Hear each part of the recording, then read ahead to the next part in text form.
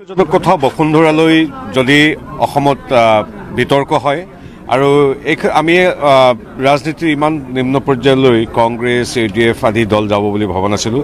বসুন্ধৰাটোক সমগ্ৰ অসমবাসীয়ে যে আদৰি লৈছে কাৰণ এই সমগ্ৰ বৰ অসমৰ প্ৰতি বিন্দু ভূমি হ'ল খিলঞ্জীয়া ভূমিপুত্ৰসকলৰ জনজাতিসকলৰ বড়ো নেচি আদি আপাতানি ৰাভা তিৱা মিচিং কাৰ্বি এই জনগোষ্ঠীবিলাকৰ ভূমি।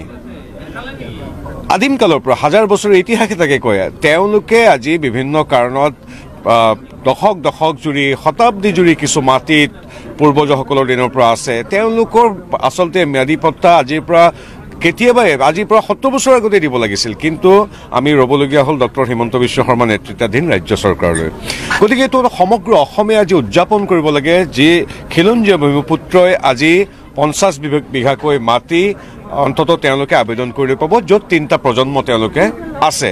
গতিকে এইটো এটা আজিৰ তাৰিখত আটাইতকৈ শুভ সংবাদ। আৰু যিসকলে পৰৱৰ্তী পৰ্যায়ত পাবলগীয়া এইটো বসুন্ধৰা তিনি চাৰি ইত্যাদি আহিব। আজিৰ তাৰিখত আমি উদযাপন কৰিব লাগে। তাৰ বিপৰীতে আমি দেখিছোঁ Congress U D F AMSU আদি দলে এইটোক লৈ বিতৰ্কৰ সূত্ৰপাত কৰিছে। এই ভূমি আজি খিলঞ্জীয়া লোকসকলে পাবলৈ গৈ আছে। গতিকে আমি ভাৰতীয় জনতা পাৰ্টীয়ে পুনৰবাৰ আদৰণি জনাইছোঁ। আৰু আমি দেখিছোঁ সকলো মানুহ সুখী। নহয় ইয়াত এতিয়া আমি ভূমিপুত্ৰ জনজাতিসকল বা খিলঞ্জীয়া লোকসকলে যি দশক দশক জুৰি আছে জাতি ধৰ্ম বৰ্ণ নিৰ্বিশেষে হিন্দু মুছলিম খ্ৰীষ্টান জৈন যি ধৰ্ম নহওক যি ভাষাৰ নিয়ক সদিৰ পৰা ধুবুৰীলৈকে যি পাব লাগে পাব। গতিকে তাৰ প্ৰথমতে সেই ভাল কথাটো পাতি লওক তাৰপিছত আহিল কিছু অঞ্চলত ভৌগোলিকভাৱে সেই ভূমি স্থায়ী নে অস্থায়ী সেই ভূমিলৈ অহা মানুহ কিমান কেতিয়া তেওঁলোকে সন্দেহৰ আৱৰ্তত আছে নেকি সেই ভূমি কেতিয়া সৃষ্টি হৈছে নদীৰ পাৰত আৰু ইক'লজিকেলি বা পাৰিপাৰ্শ্বিকতাৰ ফালৰ পৰা সেই ভূমিৰ দিয়াটো উচিত নে অনুচিত এনেধৰণৰ পৰীক্ষা নিৰীক্ষা বা সেই ভূমিৰ বিষয়ে এতিয়ালৈকে জৰীপ হৈছে নে নাই হোৱা এইবিলাক নোহোৱাকৈ কেৱল চৰাঞ্চলত ভূমি দি দিয়ক বুলি ক'লে নহ'ব। আৰু এই যিবিলাক অস্থায়ী চৰ বা স্থায়ী চৰ যিয়ে নহওক জৰীপবিহীন যিখিনি অঞ্চল আছে সেইখিনিৰ লগত হাজাৰ বছৰীয়া মাজুলীকো আজি কংগ্ৰেছ বা ইউ ডি এফে সাঙুৰি লৈছে। এই কথাটো দুৰ্ভাগ্যজনক। আমি ভাবোঁ জাতি ধৰ্ম বৰ্ণ নিৰ্বিশেষে সকলোৱে যি সুবিধা পাব বসুন্ধৰাটো ইয়াত হিন্দু মুছলিম খ্ৰীষ্টানৰ কথা নাই। যিটো ধৰ্মীয় এটা মেৰুকৰণ কৰিব বিচাৰিছে আমি দেখিছোঁ কংগ্ৰেছে। কংগ্ৰেছলৈ পোনপটীয়া প্ৰশ্ন। তেওঁলোকে পোনপটীয়াকৈ কওক যে আজি খিলঞ্জীয়া জনগোষ্ঠীয়ে আজি হিমন্ত বিশ্ব শৰ্মাদেৱ নেতৃত্বাধীন ভাৰতীয় জনতা পাৰ্টীৰ মিত্ৰজোঁটৰ চৰকাৰৰ দিনত বসুন্ধৰা দুইৰ জৰিয়তে পঞ্চাছ বিঘাতকৈ অধিক মাটি পাবলৈ গৈ আছে। এই কথা আজি কংগ্ৰেছে কিয় বিৰুদ্ধাচৰণ কৰিছে?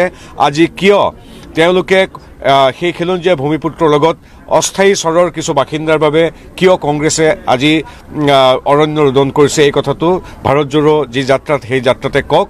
কিয় তেওঁলোকে আমাৰ ডক্টৰ হিমন্ত বিশ্ব শৰ্মাৰ এই ঐতিহাসিক সিদ্ধান্তক উলহ মালহেৰে কিয় আদৰণি জনোৱা নাই ভূপেন বৰা ডাঙৰীয়াকে তেওঁ বক্তব্যত এই কথাটো আমি শুনা পাম বুলি ভাবিছোঁ আৰু তেওঁ স্থিতি স্পষ্ট কৰিব লাগে। চৰাঞ্চলৰ মাটি জৰীপ কেতিয়া আৰু সেইটো পৰ্যায়ক্ৰমে হ'ব। আজি আজি পঁয়সত্তৰ বছৰ ৰ'বলগীয়া হ'ল। আমাৰ খিলঞ্জীয়া ভূমিপুত্ৰৰ মাটি পাবৰ কাৰণে। আৰু চৰ অঞ্চলৰ কেতিয়া হয় এইটো চৰকাৰে নিৰ্দিষ্ট বৰষুণৰ তিনি চাৰি আহিব ইত্যাদি ল'ব সেই কথা এতিয়া আমি আচলতে উদযাপন কৰিবলগীয়া খিলঞ্জীয়া ভূমিপুত্ৰই পাব। এতিয়া আমি তাত এতিয়া চৰ অঞ্চলৰ মানুহখিনিয়ে এতিয়ালৈকে কিয় পোৱা নাই এইটো প্ৰশ্ন কৰিছোঁ? প্ৰথমে আমি যি ইতিবাচক কথাটো আলোচনা কৰি লওঁ। আৰু কংগ্ৰেছৰ স্থিতি একেবাৰে অস্পষ্ট। তেওঁলোকে নামনি অসমত কৈ আছে চৰ অঞ্চলত কৈ আছে যিহেতু বেয়া হৈছে প্ৰতিজন চৰ অঞ্চলৰ মানুহে পাব লাগে। ঠিক সেইদৰে কৈ আছে যে এই গোটেই প্ৰচেষ্টাটো বেয়া। আৰু তেওঁলোকৰ স্থিতি অতি অস্পষ্ট। গতিকে তেওঁলোকৰ স্থিতি অস্পষ্ট। তাতকৈ আমচুৰ স্থিতিয়ে স্পষ্ট। তাতকৈ আমচুৱে শুদ্ধ কৈছে যে প্ৰতিজন চৰ অঞ্চলৰ মানুহে পাব লাগে। আমচুৰ স্থিতি স্পষ্ট। ৰাজনৈতিক ক্ষেত্ৰত হওক অৰাজনৈতিক ক্ষেত্ৰত হওক স্থিতি স্পষ্ট হোৱাটো জৰুৰী। আজি আমচুৱে পোনপটীয়াকৈ কৈছে যে প্ৰ- প্ৰতিজন চৰ বাসিন্দাই পাব লাগে। কিন্তু কংগ্ৰেছে ইয়াত এটা কথা কয় তাত এটা কথা কয়। গতিকে কংগ্ৰেছৰ স্থিতি অতি দুদুল্যমান। তেওঁলোকে কোনফালে কি কৰি আছে তেওঁলোকে নাজানে। তেওঁলোকক মই অনুৰোধ জনাইছোঁ অন্ততঃ খিলঞ্জীয়া ভূমিপুত্ৰই পঞ্চাছ বিঘাকৈ মাটি ম্যাদী মাটি পাবলৈ গৈ আছে। তাত তেওঁলোকে যাতে বাধাৰ যি সৃষ্টি কৰিবলৈ গৈ আছে বিভিন্ন ধৰণে।